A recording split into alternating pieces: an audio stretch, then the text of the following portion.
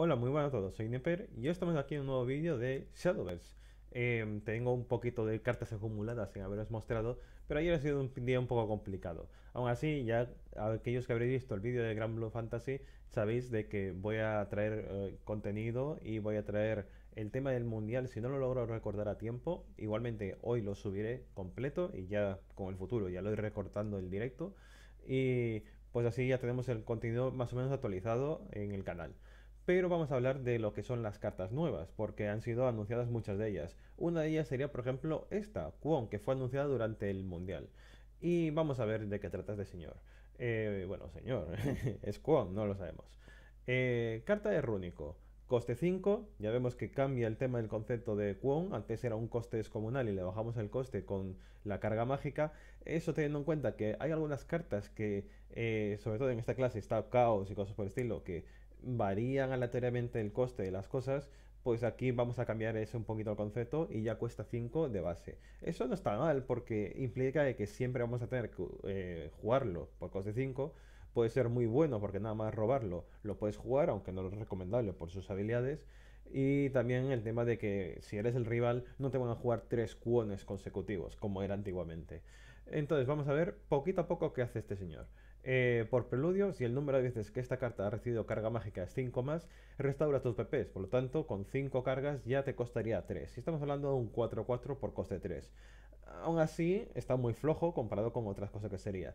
Pero también invocas un Shikigami demoníaco y un Shikigami de papel. Esos ya los conocíamos, que son el Shikigami demoníaco es el 3-3 y el de papel es el 1-3. Que esto es lo que hacía el otro Kwon, aparte de invocarte el celestial. Pero claro, había que bajar el coste y también les daba asalto a estos, que este en, en este caso no lo proporciona. Te llena la mesa con dos cosas que una es un 3-3 y otro es un 1-3, dos de culo 3 eh, y además que cuando mueren proporcionan carga mágica. Estamos hablando de que todo esto es por coste 3. Eh, o sea, por coste 3 estamos poniendo un 4-4, un 3-3 y un 1-3. Está muy bien en volumen de mesas por el coste, la verdad. Eh, no, no está nada mal. Pero la cosa sigue aumentando. Si es 10 o más, entonces restauras 4 p Y en vez de un Shikigami, eh, invocas un, celestial en lugar del papel.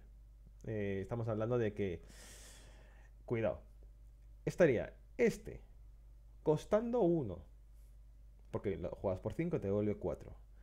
Y te invoca el 3-3 y el guardián 4-5, que cuando muere mete 3 cargas mágicas a toda la mano.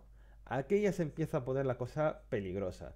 No tienen asalto, como era el anterior Kwon, pero sigue teniendo cosas como esto. Y esto es peligroso. Sigue a mi celestial tan barato, porque te cuesta uno, pues está muy muy curioso. Y 10 cargas pues no es nada difícil hoy en día. Y ya si nos vamos un poquito a las 15 cargas, entonces la cosa cambia más todavía. Porque en lugar del demoníaco invocas al Shikigami noble. Y el noble aquí lo tenemos que es una carta nueva que es este combatiente legendario, que es un 10-10 por 10. Cuando este combatiente entra en juego, inflige 10 de eh, X de daño a todos los combatientes enemigos, donde X es igual al número de PP restantes. Tener en cuenta que mínimo va a hacer 4 de daño, porque Kwon nos devuelve 4, ya que es la habilidad que tiene a partir de que tiene 10 cargas. Y eso es muy salvaje, muy, muy salvaje, porque estamos hablando de que por uno estamos metiendo un 4-4, un 10-10 y un 4-5 con guardia. y limpiando toda la mesa del rival. Vale, que son 15 cargas, pero no es difícil, ya lo hemos visto más de una vez en esta clase. Y esta carta no puede ser destruida ni exiliada con efectos de cartas. Puede ser destruida con efectos de daño y eh, ataque. Vale, está muy bien, lo podemos llegar a matar a través de pegarle 10 de daño, pero tiene al guardián delante. Eso pone las cosas difíciles, la verdad. O sea, uff, en presión de mesa esto va a ser muy salvaje. Y también esta otra cosa. No nos olvidemos de que esto es rúnico, de cargas mágicas. ¿Qué más hay en, rúnico de cargas mágicas? Oh, sí, el cronobrujo, que te resucita cuatro cosas que hayan muerto y te las evoluciona. Este bicho puede volver a entrar. Eso es muy, muy peligroso, muy peligroso. Una mesa muy potente. Eh, puede que estemos dándole un soporte a cargas mágicas y sin embargo seguir estando con Cronobrujo, por lo que podríamos tener alguna cosa de evoluciones. No sería el mazo de evoluciones que tenemos ahora mismo que está centrado en ello, Pero cargas mágicas con presión de mesa tan salvaje. Interesante, a ver qué más acompaña a esta clase para poder centrarnos en cargas mágicas y no continuar con lo que vemos ahora mismo o con esa mecánica o incluso intentar eh, otra vez que salgan cosas nuevas de ritos de tierra que hemos visto que salió soporte para ellos pero esta carta no está dirigida en esa, mecánica en absoluto. Habrá que ver qué sucede. La verdad, muy potente Kwon y a ver con qué nos acompaña esa carta. Vamos ahora ya con la siguiente, que me he extendido mucho aquí, y vamos con Wilber. ¡Oh! La carta legendaria de Clerical. Y Wilber tenía un problema muy salvaje, que era de que costaba una burrada. Ahora, pues directamente pasa a costar 2 y cambia completamente su mecánica. Pero cuidado porque está muy interesante. Es un combatiente con guardia, qué raro, es Wilber. Coste 2, 2 de ataque, 2 de defensa y evolución completa. Eh, si el número de combatientes aliados con poder de guardia es... Eh, un momento, creo que me he olvidado una cosa de Kwon, ¿verdad? Sí, me he olvidado decir que Kwon evoluciona también. Todos los combatientes, en todos los Shikigami de papel, Shikigami de demoníaco tal y cual, obtienen el poder de embestida. O sea, todos pueden pegar en el turno que son invocadas. Esto es muy importante y me lo había olvidado de comunicar. es que demasiada cosa tiene Kwon. Y eso que no es la carta con más texto.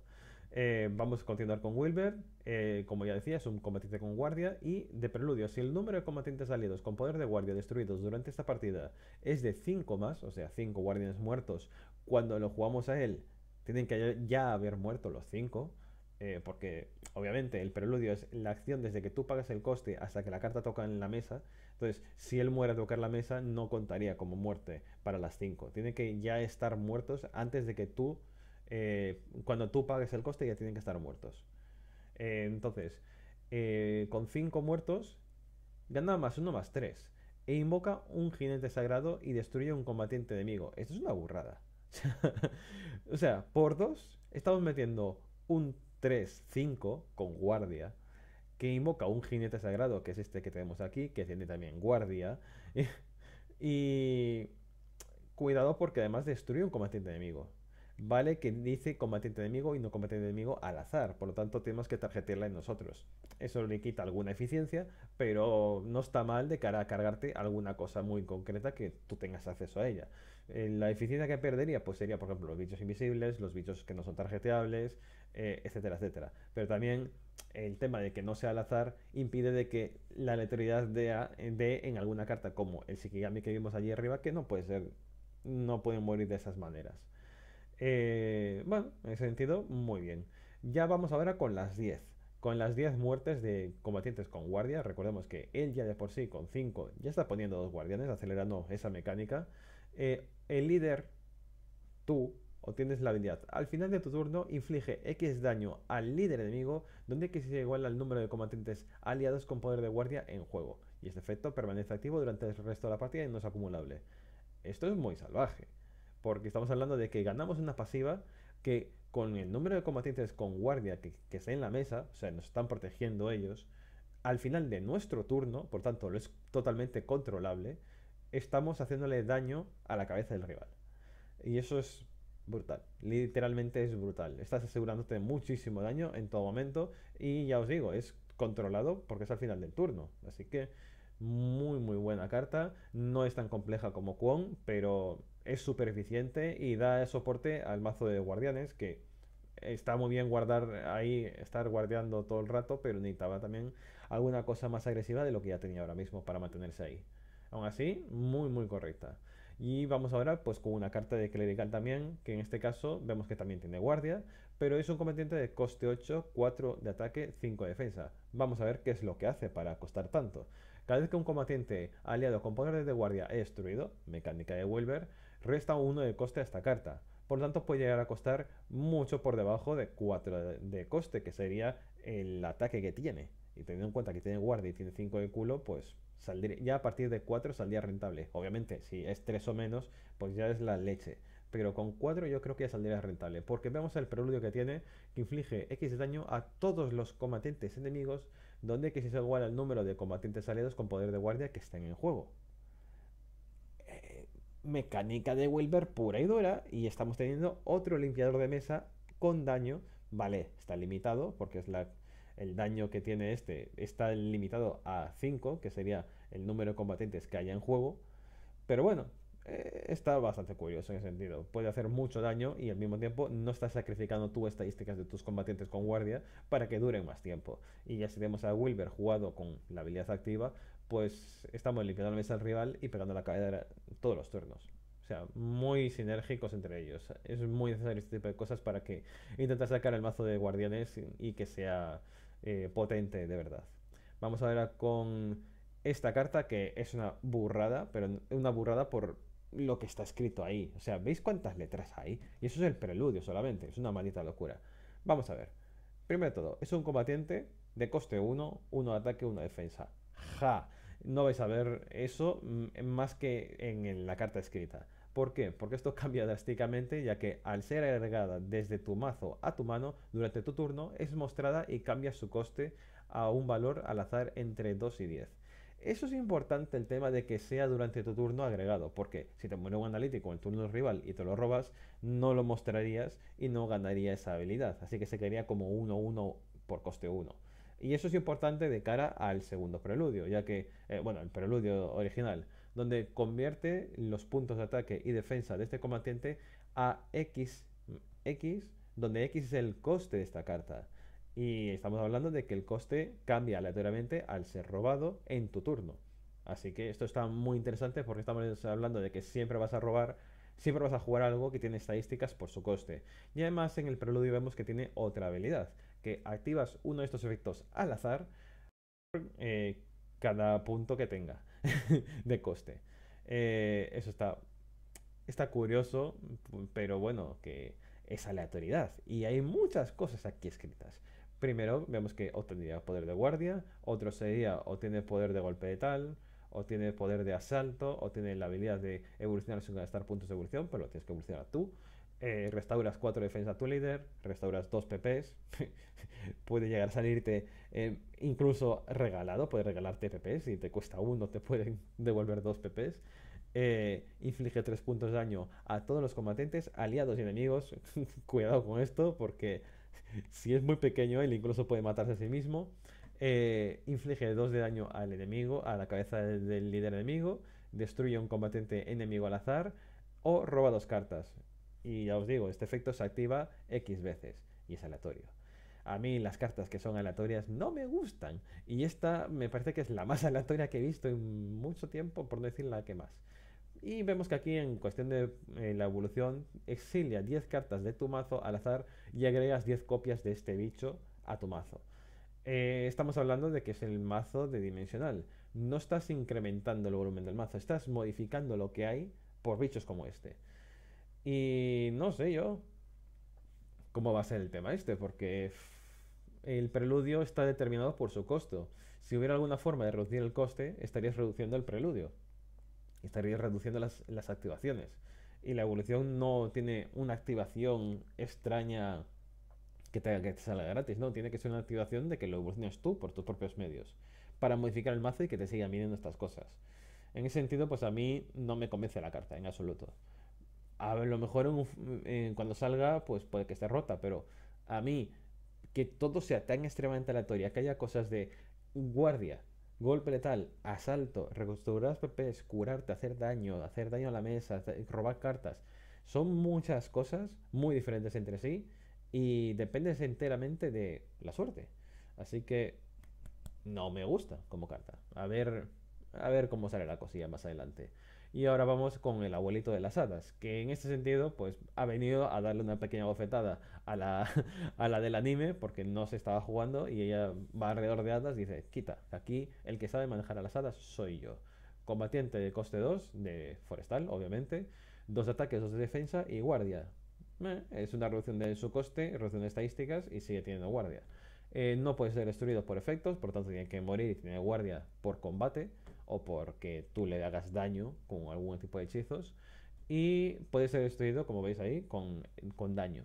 A final de este turno, si el número de combatientes aliados de Forestal que han salido del tablero en esta partida es 10 o más, mecánica de seca, o tiene más 3 más 3, así que sería un 5-5 por coste 2, con guardia. Y si es 20 o más, también destruye todos los combatientes enemigos. Es de han estado entrando y saliendo misadas y fosfatos y han estado haciendo la fiesta del bounce. Venga, entro, salgo, entro, salgo. No sé si estoy dentro, si estoy fuera. El, el hada de Rodinger. Y después dice, eh, que os calléis todos. Revienta la, la, mesa del rival. Yo no he hecho nada, son tus hadas que están molestando. Y después, aún encima tiene una evolución el colega. Devuelve los demás combatientes aliados de Forestal a tu mano esto estaría modificando, estaría aumentando su pasiva, que recordemos, no es un preludio, es una pasiva que tiene él como combatiente. Así que hay que eliminarlo para que no surjan estas cosas. Devuelves toda tu mano y invocas un hada por cada carta que ha salido del tablero eh, por este efecto. O sea, te está quedando un bicho que es bien gordete, porque 10 no es difícil conseguir en Forestal. Eh, es un 5-5 que se convertiría en un 7-7 con guardia devuelve todo a tu mano, por tanto vuelves a tener mano, vuelves a tener cartas jugables y todo eso lo transforma en hadas. Que recordemos, sigue habiendo cositas con las hadas que hoy en día son molestas y pueden ocasionar bastantes daños. Así que no son las hadas con asalto tan exageradas o la, cosa que había de que aumentaba todas las hadas, les daba asalto y eran muy bestias todas de cada una de ellas que podía hacer OTK, pero tiene mecánicas alrededor de seca y eso siempre es agradecer. Y recordemos que todo esto estamos hablando de un bicho que cuesta 2. Así que podemos hacer muchas locuras con este. Muchísimas locuras. Y nada, pues a, ver cómo sale esto. La verdad, Forestal no está débil precisamente ahora mismo y esto es un soporte bastante potente alrededor de las hadas. Mm, ya vamos ahora con otras cartas que han salido anunciadas en otros sitios, que esta lo voy a ampliar un poquito, no sé si se verá con la capturadora. Bueno, se ve un poquito. Bueno, aquí tenemos, este es un maldito cabroncete. Eh, ¿Qué es lo que hace? Primero de todo, es por coste 2 en Imperial un combatiente soldado con 2 de ataque y 1 de defensa. Pero el cabroncete tiene emboscada, por lo tanto es intarjeteable, no podemos hacerle target. Lo que os dije antes, de que tienes que tú hacer objetivo alguna cosa, pues este se lo, se lo pasaría por el forro. Eh, de preludio, agregas un collar dorado a tu mano, que es esta carta de aquí, que proporciona más 1 más 1 a un combatiente que tú escojas, y es un hechizo de coste 1. Muy simple la carta, pero muy útil. Y tiene vínculo 15, que no es difícil de conseguir hoy en día, pero bueno, estaremos hablando de vínculo 15, ya es un vínculo para no jugar esta carta al principio del todo y sacarle partido 100%. Eh, si tu oponente tiene un punto o más puntos de evolución, el oponente usa uno y tú restauras un punto de evolución. Básicamente es, uh, que tienes un punto de evolución. para mí. Y, puedes estar destruyendo la, la estrategia a un rival jugando una carta de coste 2 que aún encima te estaría recuperando un PP sin coste, simplemente un requisito de alcanzarlo y ya está. Este es una burrada y es molesto como el solo, porque además fijaros que tiene un impacto. El combatiente enemigo pierde todas sus habilidades, los cambios ya hechos a su ataque y defensa no serán revertidos y robas una carta. Estás silenciando a un combatiente enemigo por completo, le estás quitando todas sus habilidades y encima robas una carta. Y el bicho es un 2-1 por coste 2. Esto... Qué asco me dan cuando salen cartas tan fuertes, la verdad. Este bicho pinta que va a estar muy fuerte. Así que cuidadín con él. uf, es que está, está fuerte el cabroncete. Eh, vemos aquí, bueno, Ahí tenemos a un combatiente legendario de Rúnico. Este sería el que acompaña a Kwon y vamos a ver de qué trata. Porque Kwon es de cargas mágicas y este pues tiene una mecánica diferente, completamente diferente a lo que es eh, Kwon, pero está muy interesante. Porque de preludio inflige 2 puntos de daño a dos combatientes enemigos al azar. Coste 2, 2 de ataque, 2 de defensa, 4 de daño repartido en dos fuentes a los rivales. Au. Ya, ya tiene presencia al tocar la mesa. Pero fijaros, Coste 2. Aumento 3. es de, jajaja, ja, ja, vas a utilizar el aumento casi siempre, porque además su mecánica es muy interesante. Eh, descarta una carta al azar de tu mano. Lo juegas por 3, pierdes una carta. y sin retribución. Vale, si lo evolucionas, gastas un punto de evolución en él. Eh, si tienes un PP o más restantes, por lo tanto tienes que haberlo jugado por 4 entonces restauras un punto de evolución, así que te saldría gratis. Pero la evolución la haces tú manualmente. Aún así, me parece muy buena la carta. Porque además, fijaros, recordar, coste 2, aumento 3, Atajo 1. Es la carta más difícil de jugar por su atajo y aumento que he visto en mi vida. Eh, restaura 2 de defensa. Tu líder y robas una carta. O sea, un agua bendita.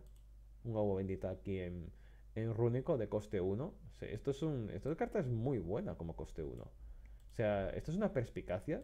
Porque aquí tenemos la perspicacia por coste 1. Pero además es que restauras 2 de vida y es un combatiente, por lo tanto se los puedes dar de comer a Isabel si quieres. Esto solo por el atajo, solo por ser un combatiente con atajo así y ser un combatiente que puede ser comido por Isabel, es la leche. O sea, es, es muy bueno el combatiente, muy bueno. Es muy molesto por el tema del aumento tan pequeño, pero bueno, es muy bueno el combatiente a ver, a ver cómo sale la cosa. Y el tema de que la evolución te puede gratis, pues yo creo que es lo más anecdótico, pero sigue siendo una cosa útil, ya que entraría dentro de la mecánica de, de evoluciones. Y eso, pues mira, más soporte para lo que tenemos ahora mismo. Y ahora vamos con otra de las cartas de los combatientes estos de la expansión. Y tenemos aquí a Yuzuki, la combatiente de vampírico, la legendaria. Eh, coste 3, 2 de ataque, 3 de defensa, baja mucho su coste y estadísticas para ser utilizada más a menudo. Y vamos a ver sus preludios, porque hemos visto que son bastante fuertes los de esta expansión. Preludio, si el número de veces que han evolucionado tus combatientes durante esta partida es de 3 o más, o sea, mecánica de evoluciones en vampírico, destruyes un combatiente enemigo y robas una carta. Excelente. O sea, 3 eh, evoluciones, destruir un combatiente y robar una carta mientras juegas un bicho. Brutal. Pero vamos a ver que con 5 evoluciones destruyes dos combates enemigos y robas dos cartas. O sea, duplica su efecto. Sin aumentar el coste ni nada más. Simplemente el requisito de 5 evoluciones. Que puede ser un pelín más complicado. Porque ya tienes que tener evoluciones gratuitas que se activen. O recuperaciones de evoluciones. Que eso ya es más complicado. Pero aquí tenemos una carta que va con una mecánica de limpiar mesa al rival y robar cartas. Así que ya directamente ya vemos que tiene la mecánica de, avaricia incluida en la carta con un poquito de evoluciones. Tiene el tema de que va, depende de las evoluciones para sacar esa potencialidad. Así que evoluciones avaricia es un soporte muy bueno para ellos. Y esto es muy interesante. De evolución invocas a una copia de sí misma, una Yuzuki, que dicho combatiente evoluciona y es exiliado al final del turno. Esto básicamente es, hace un clon de sí mismo y ese clon es un 4-5 con embestida. Y al final del turno, pues eh, será exiliado como, como un combatiente, como un fantasma, que son 4-5, pero que no tiene asalto, tiene embestida.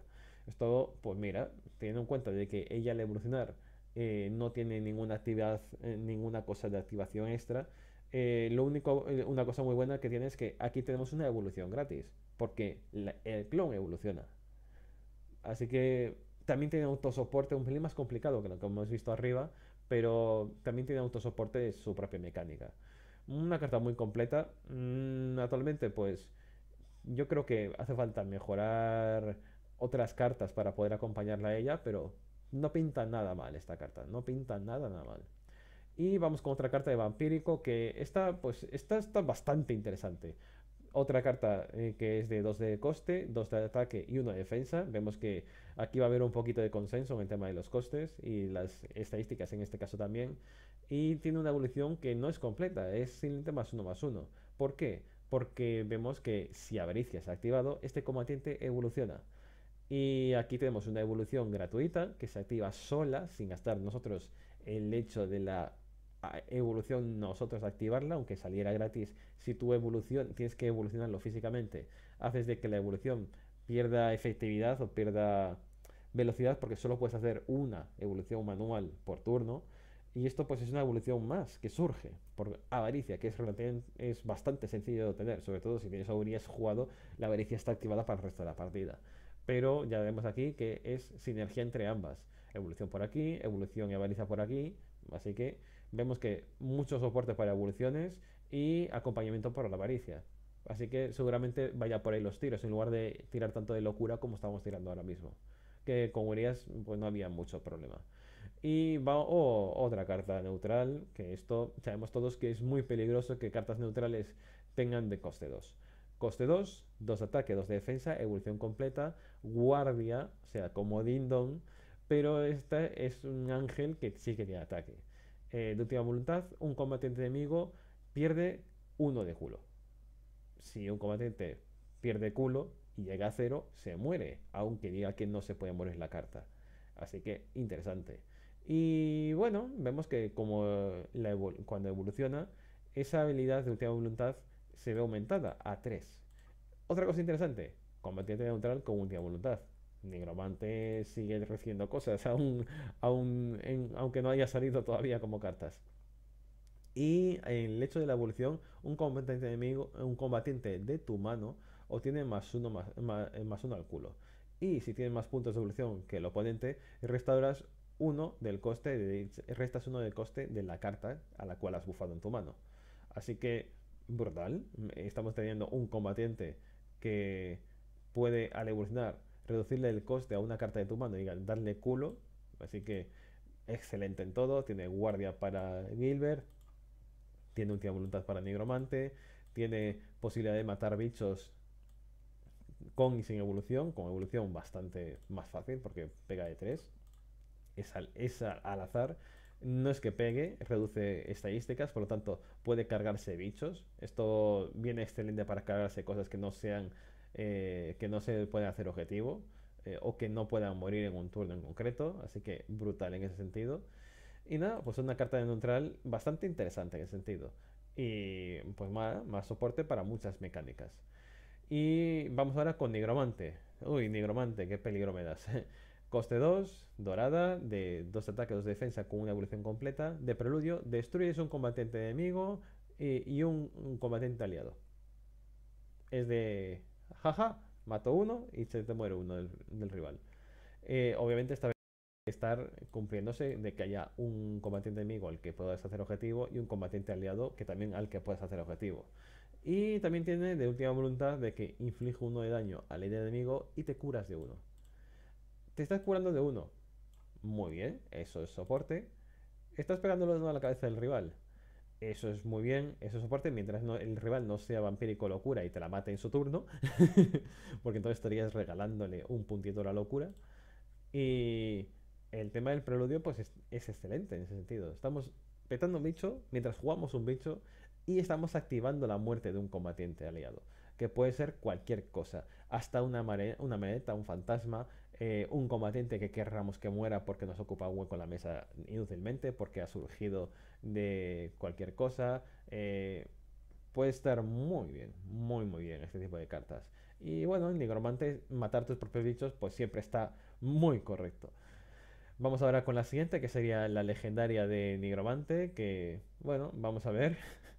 es muy fea la ilustración, muy muy fea, a mí no me gusta nada, pero bueno tiene muchas mascotitas. Y vemos que aquí del nigromante, un combatiente es coste 6, 5 ataque, 5 defensa, tiene embestida y guardia, por lo tanto tiene efectividad al tocar la mesa y se mantiene en la mesa. Y encima tiene una última voluntad, que eso siempre viene muy bien en esta clase. Activa uno de los siguientes efectos al azar. Al azar, no me gusta que ponga al azar, pero bueno, a ver cómo son esos efectos, son bastante buenos en verdad. Restauras un punto de evolución, eso es brutal, tiene embestida, por lo tanto ni siquiera tendrías que haber gastado un punto de evolución para activarlo en el mismo turno en el que lo juegas, si tienes suerte. Robar dos cartas, bueno, eso es soporte para la mano. Y el infligir tres puntos de daño a la cabeza del rival puede ayudarte a, la letalidad, pero al ser aleatorio esta cosa, pues eh, ya quita mucha la efectividad de confiar en que esto surja, ya que hay cinco cosas que pueden salir en la aleatoriedad esta. Restauras 4 de defensa a tu líder, más de lo mismo que esta. No puedes confiar en una u otra para sobrevivir la partida o para ganarla. E inflige 5 daño a un combatiente enemigo al azar. Esto es la cosa más estúpida que he visto en mucho tiempo. Es, hay uno de 5 de posibilidades de que te salga esta habilidad. Porque vemos que hay 1, 2, 3, 4, 5 habilidades aleatorias. Y además de todo eso, tenemos el tema de que una vez si te toca esta, sería al azar 5 de daño a un enemigo. Que si hay 5 enemigos, es un 20% de posibilidades de que le dé al que tú quisieras que le dieras, el que quieres que le dé alguno. Si no hay ningún combatiente enemigo, el, daño se va al aire y, no hace nada esta última voluntad. Ah, no, no, me, no me mola nada absoluto. Pero, pero, pero, pero, tenemos una cosa interesante. Ya que el atajo 1 es invocado y es destruido. Así que estaríamos aquí activando, estamos invocándolo y destruyéndolo, no estamos haciendo funeral. El funeral tú invocas al bicho y se muere sin activar últimas voluntades. Esto no dice eso. Esto lo estarías invocando y matándolo. Por lo que entraría al pool de bichos muertos, un bicho de coste 6, y eh, estaríamos también activando una de esas habilidades. Y esto entonces ya saca la rentabilidad interesante, el atajo este. Atajo de 1, porque este bicho ha sido jugado como combatiente, eh, pero a través de un hechizo. Y eso está muy muy bien, porque por uno activar una de estas habilidades es brutal. El tema es, si lo juegas al comienzo del todo y te sale curarte, eh, te sale eh, recuperar un punto de evolución, pues llora en una esquina. Así que seguramente esto no sea como una carta de iniciar la, partida. Seguramente ya cuando estemos cerca de los turnos de evolución, entonces cuando de verdad les veremos una, una importancia buena porque ya estaremos eh, respondiendo a los rivales con el daño, estaríamos eh, restaurándonos en caso de que vaya muy rápido, haciendo daño, pues siempre viene bien hacer daño a la cabeza. El punto de evolución, por eso que digo de que ya a partir de que gastas puntos de evolución, esta posibilidad es muy buena. Y el robo de cartas, esta, la, sí que sería eh, muy bueno que salga en cualquier momento de la partida. Vamos con el siguiente, que sería el mamú de colmillos espiral.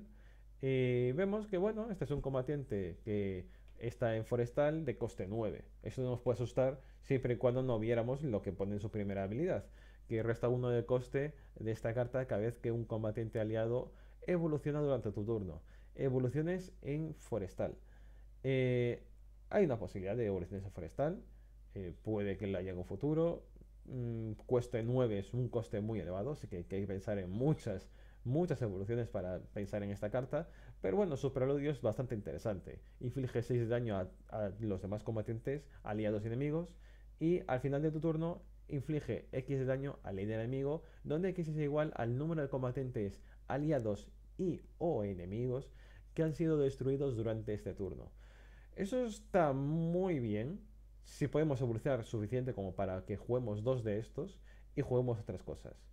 Porque sería muy salvaje que el rival tenga muchos combatientes, tú hagas este bicho, reviente la mesa, después juegues alguna cosa más o surjan hadas, porque recordemos, Amaz es muy barato y puede poner muchas hadas, y este pues lo puedes jugar. Y si lo juegas, eh, volveré a petar la mesa.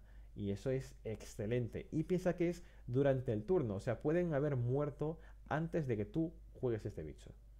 Y eso también implica muchas utilidades. Porque estamos hablando de que es al final del turno. Se pueden incluso acumular dos veces este bicho. Por eso digo de que si tenemos muchas evoluciones, entonces podríamos llegar a pensar en jugar dos de estos y hacer una peligrosidad muy, muy, muy, muy grande en esta clase. Y esto, bueno, pues muy a malas siempre podría ayudar a un turno de seca en el que no tengas el daño suficiente. Pues con este podrías llegar a limpiar la mesa del rival, ya que seca tiene gratuitas, así que podríamos ahí tener esa mecánica. Eh, con Amaz tenemos muchas mesas que van a entrar y salir los bichos. Ahí pues sería un soporte enteramente para seca, para la mecánica de seca. Y bueno, una carta interesante, siempre y cuando este coste se lo puedes bajar bastante.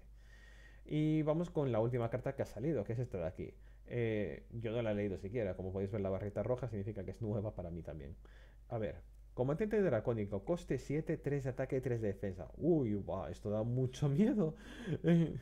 Preludio, si la defensa de este combatiente es de 5 más, ¿vale? Mecánica de bufar el mazo de dracónico. Invoca al azar desde tu mazo un combatiente de clase dracónico de coste 4 y un combatiente de clase dracónico de coste 2. Si dichos combatientes tienen poder de preludio, dicho, dicho efecto se activa. ¡Uh! ¡Hoy va! Combatientes de coste 4 y coste 2. Aquí esto es Rastina y la Sirena. Rastina y la Sirena, gratis. Ostras. Vale que ella cuesta 5, cuesta 7, pero en las estadísticas salen perfectamente apagadas. Y estamos hablando de mazo de bufos.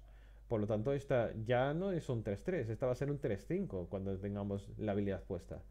Y a ver, atajo de coste 4, los combatientes de, clase dracónico o tienen más uno a todo el mazo, ok, como siempre, pero coste 4. Y invocas dos megalorcas. Eh. Bueno, serían dos bichitos, dos, dos.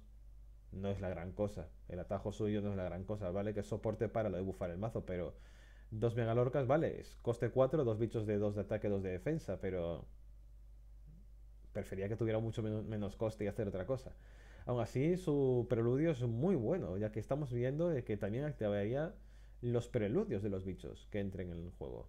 Eh, no tiene preludio, pero sí la sirena. La sirena bufa el mazo y te proporciona robo. Así que... Oh, también estaría el pescado, ¿sí? El pescado que te invoca el, el hipocampo también invocaría el hipocampo. Uf. Muy buena carta. Sí, muy buena carta. Estamos hablando de dracónico, o sea, los costes tampoco es que importen demasiado. Existe el rampeo. Así que, eh, bueno, muy interesante, sí. Este, quedo contento con esta carta, la verdad. Hay, hay muchas cosas nuevas y muchas cosas muy, muy tochas aquí.